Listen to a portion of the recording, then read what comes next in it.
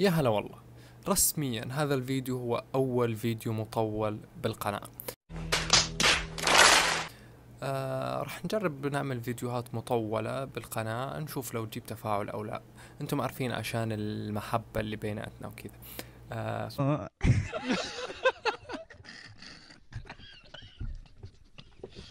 فالفيديو راح يكون عبارة عن كيف نسوي فيديو مطول. هو إن أنا جاتني فكرة أمس. إن نبتدي العد من واحد الين ثلاثين ألف وآخر الفيديو أحط لكم ثلاث ثواني زي اللي أسويه بال Shorts وكذا نوصل فيديو مطول. بسم الله نبدأ. واحد اثنين ثلاثة أمزح أمزح. اضحك الحين لا تشيلون لا تشيلون المتابعة لحظة. تونا بادئين يا جماعة ما أدري آخذ ميانة هنا ولا أكون جدي باليوتيوب عشان كذا هذا تجربة تجربة ما مو محسوب. ف Few moments later. أي الفيديوهات جد راح تكون شبيهة بالمحتوى اللي جالس أقدمه بالشورتس ولكن بشكل مطول ومرتب وأجمل ومعلومات وتفاصيل أكثر. nice آه هذه البداية هذا اللي جالس أتكلم الحين ما راح يكون طبعا بكل مقطع لكن بس بهذا المقطع وبعدها نبتدي المقاطع على طول. فكرة المقطع راح تكون آه هذا المقطع الأول. top five خمس أشياء نادرة ربما تراها لأول مرة في حياتك. وهذه الأشياء هي مرتبة ليس ترتيب علمي لكن مرتبة على حسب أنا ما شفتها أن أنت ممكن تكون نادرة وأنت أول مرة تشوفها أو لا. وعشاني جديد على اليوتيوب وما أعرف المونتاج فراح نبتدي بال intro اللي هو. معكم وسامز وهذا هو الفيديو الأول. Top five خمس أشياء نادرة ربما تراها لأول مرة في حياتك. لكن قبل ما نبدأ هذا الفيديو في ثلاث أشياء هنا مهمة تعلمتها في البرنامج. إن like للفيديو ولو مو مشترك بالقناة اشترك بالقناة والثالثة فعلوا زر الجرس عشان يوصلكم كل شيء جديد. طبعا الشيء الجديد لو هذا الفيديو جاب تفاعل. بلا صياح. أرجوكم. بلا صياح. حتى لو ما جاب بنزل عادي إلين يجيب تفاعل والحين خلونا نبتدي. آه خلونا نبتدي. توب فايف خمس أشياء نادرة ربما تراها لأول مرة في حياتك.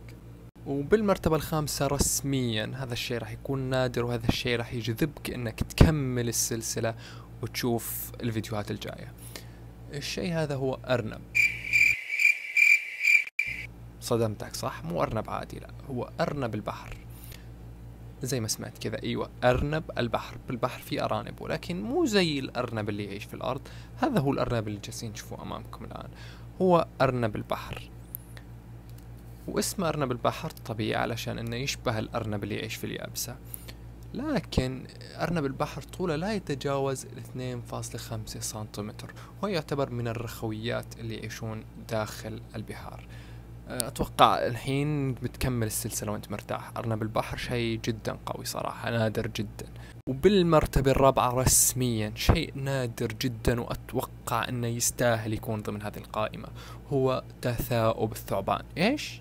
زي ما قلت لك تثاؤب الثعبان. يعني تخيل معي شخص فاضي ما عنده حياة ما عنده أي شيء قرر إنه يشوف ثعبان وينتظره إلين ينعس مو ينام لا يتثاءب الثعبان أصوره ويصير هذا الفيديو شيء وأنت تشوفه. صراحة تستاهل تكون ضمن القائمة أتوقع. وشوفوا هذا الشيء يعني. أنتوا جالسين تشوفوه أتوقع إنه يستاهل وبقوة إنه يكون ضمن هذه القائمة. ولا إيش رايكم؟ يستاهل طبعا. وبالمرتبة الثالثة معنا رسميا هبوط البجعة على الماء. لا تستبق الأحداث عزيزي المشاهد. بجعة دائما نشوف البجعة جوا الماء. لكن عمرك شفتها وهي يعني في أفلام كرتون بالمسلسلات بالأفلام دائما أشوفها. عمري ما شفتها صراحة إلا وهي في الموية. عمري ما تخيلت أصلا إنها كيف ذهبت في الموية. هذا الفيديو راح تشوف كيف تنزل الموية. أنت يوم تشوف هذا الفيديو تحس إن هذا شيء غريب وأنت أول مرة أصلا تستوعب هذا الشيء وتشوف هذا الشيء. أنت الحين جالسين تشوفونه وأحكموا بنفسكم على هذا الشيء اللي جالسين تشوفونه. فأتوقع أنها تستاهل تكون ضمن هذه القائمة. عشان شيء نادر وأنا أول مرة أشوفه فايش رأيك؟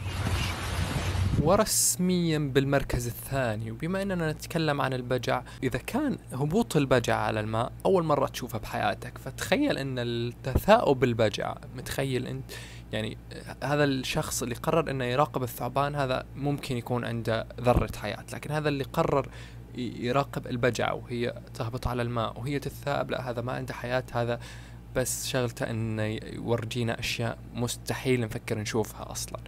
وزي ما شايفين طريقة تثاؤب البجعة غريبة يعني تحس إنها تستاهل المركز الثاني وعن جدارة. ممكن يكون ترتيب يختلف بالنسبة لك لكن أتوقع أنه هو ترتيب منطقي وتستاهل البجعة تكون في المركز الثاني بعد الهبوط وبعد هذا التثاؤب الجميل. ورسميا بالمركز الأول. خروف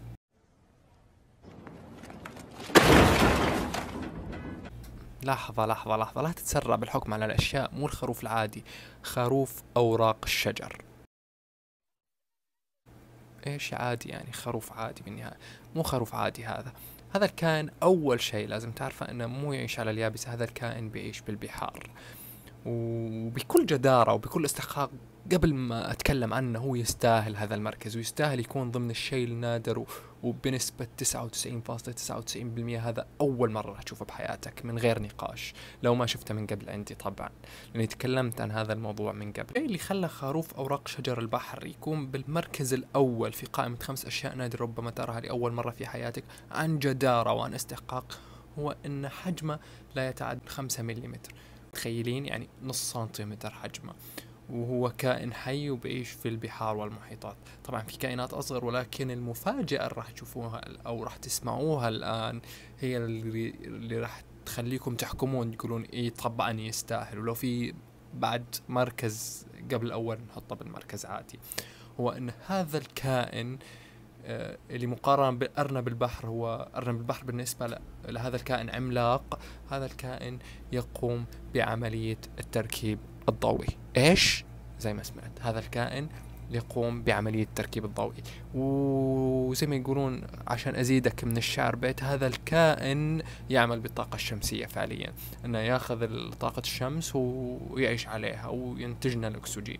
فأتوقع أنه بكل جدارة واستحقاق وبنسبة مئة بالمئة يستاهل المركز الأول. في نهاية هذا الفيديو آه يعني تسووا هذه الثلاث أشياء اللي قلت لكم عليها لايك ولو مشترك بالقناة اشترك وفعلوا زر الجرس عشان نستمر وشيروا لناس كثير عادي بعد. هذا شيء أتوقع يفيد بشكل مرة كبير. واكتبوا لي تعليقاتكم عشان راح أقراها واكتبوا آرائكم وأي شيء أي شيء تبونه اكتبوه. آه واللي يكتب أي شيء آه مو حلو بمسح التعليق عادي. ف